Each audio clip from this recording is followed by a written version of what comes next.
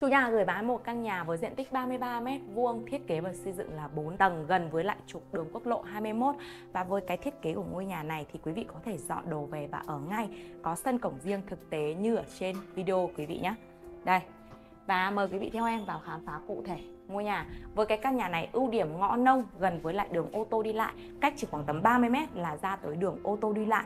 Tiếp theo là cái ngôi nhà này quý vị có sân để riêng xe riêng, rất là hợp lý, rất là thoáng và với cái hiện trạng của ngôi nhà thì quý vị có thể dọn đồ về và ở được ngay diện tích 33 m hướng nhà là hướng Tây Nam. Ngôi nhà này thì quý vị có thể dọn đồ về và ở được ngay. Ngoài cái phần cổng riêng của ngôi nhà thì ở đây chủ nhà thiết kế đây, hai lớp cửa bên ngoài là lớp của sắt kéo và bên trong là cửa nhôm hệ Việt Pháp. Mời quý vị theo chân Ngọc Ánh vào khám phá cụ thể ngôi nhà. Với cái thiết kế của ngôi nhà này thì chủ nhà cũng có tặng kèm nội thất cho quý vị nữa nhé đây là phần tầng 1 phòng khách của ngôi nhà. Thì cơ bản là đã hoàn thiện xong hết. Quý vị có thể dọn đồ về và ở được ngay ngõ trước nhà như thế. Giá Ngọc Ánh để ở dưới phần bình luận cho quý vị. Vị trí đi lại giao thông thuận tiện. Gần với lại ngã ba Ba La, gần với lại Đại học Đại Nam, gần với chợ Sốm gần với bến xe Nghĩa phạm vi bán kính 3 km quay đầu. Xung quanh tiện ích chợ dân sinh, trường mầm non, tiểu học cấp 1 cấp 2 cấp 3 cao đẳng đại học đều trong phạm vi bán kính 1 km quay đầu là đầy đủ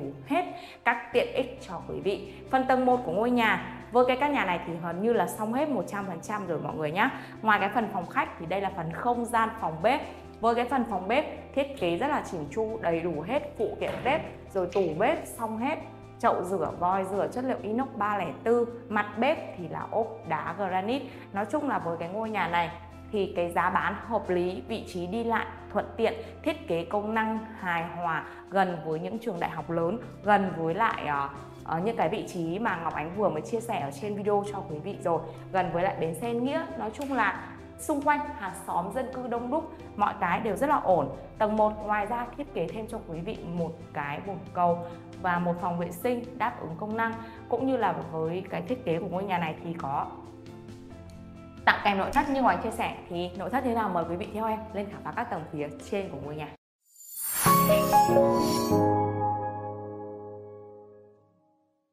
Và với tầng 2, tầng 3 của ngôi nhà, chủ nhà thiết kế cho quý vị tặng nội thất như sau.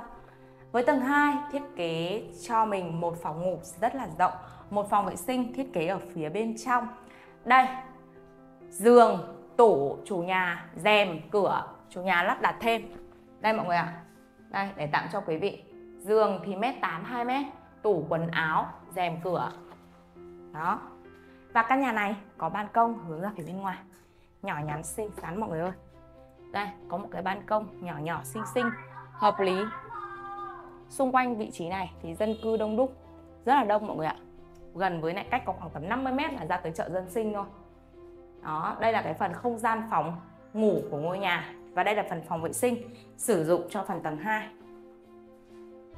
đây, đầy đủ về bồn cầu này, cũng như là đầy đủ về cái thiết bị vệ sinh sử dụng ở theo từng tầng mọi người ạ.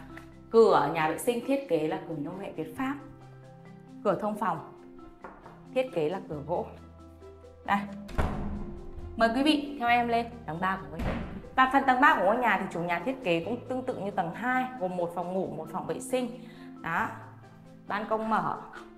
Căn nhà này thiết kế tương đối thoáng hướng nhà cũng khá là mát mọi người ạ. Và phòng tầng 2, tầng 3 thì chủ nhà lắp đặt luôn rèm, cửa rồi là tủ kệ, giường cho quý vị. Đấy. Công năng sử dụng hợp lý, giá bán chỉ hơn 2 tỷ. Vị trí đi lại thuận tiện gần với các trường đại học. Gần với lại đường ngõ ô tô gần với lại bãi gửi xe ô tô nói chung là tương đối thôi. Còn để mà nó tuyệt đối thì Ngọc Anh đã chia sẻ rất nhiều nếu như tuyệt đối thì quý vị chỉ có thể tìm đất tự xây tự thiết kế thì nó mới hợp lý được. Đây phòng vệ sinh tầng 3 sử dụng cho tầng 3 đầy đủ hết công năng.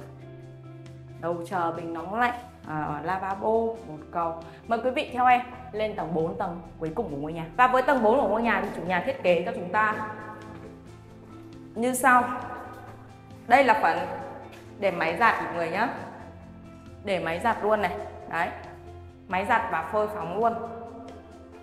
Đây là phần, thêm một phòng nữa thì phòng này quý vị có thể thiết kế làm phòng thờ phòng làm việc tùy công năng mục đích sử dụng tuy nhiên thì với cái căn nhà này là có 3 phòng riêng tính lên trên phần tầng 4 thiết kế 4 tầng, diện tích thì hợp lý, có sân để xe riêng.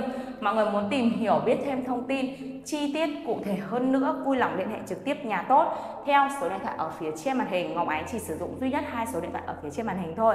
0983 013 403 hoặc 0888 041 444. Xin chào và hẹn gặp lại quý vị ở những video tiếp theo.